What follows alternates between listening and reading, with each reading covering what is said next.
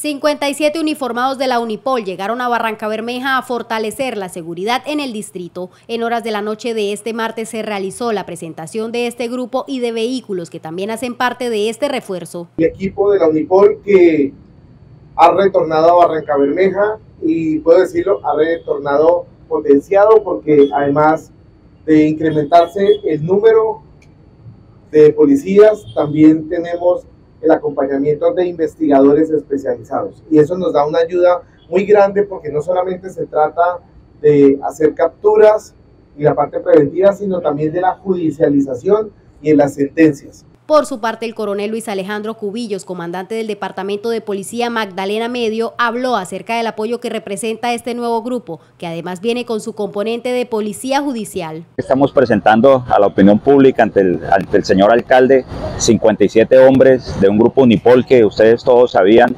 eh, los habían llevado por necesidades del servicio y ya nuevamente están acá.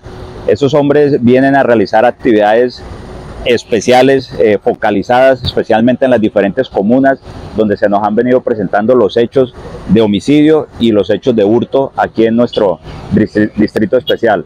Hombres que vienen completamente equipados, traen sus vehículos, medios de transporte, que eso indiscutiblemente nos va a ayudar al tema de presencia, al tema de impactar las comunas como lo estoy manifestando. Y lo otro que viene también con su componente de policía judicial, con su componente de investigación criminal, que eso indiscutiblemente va a ayudar también a todo el proceso de judicialización de las personas que se logren capturar. Asimismo, habló acerca de un vehículo que también llega a apoyar el tema de seguridad y traslado de personas privadas de la libertad. Aparte de eso, también estamos presentando un vehículo que logramos una gestión, un vehículo que llegó a incrementar el tema de vehículos aquí que van a estar haciendo actividades de control también, de vigilancia y obviamente es un vehículo donde vamos a poder llevar los PPL, personas privadas de la libertad, a los diferentes centros donde los tengamos que, que, eh, que llevar.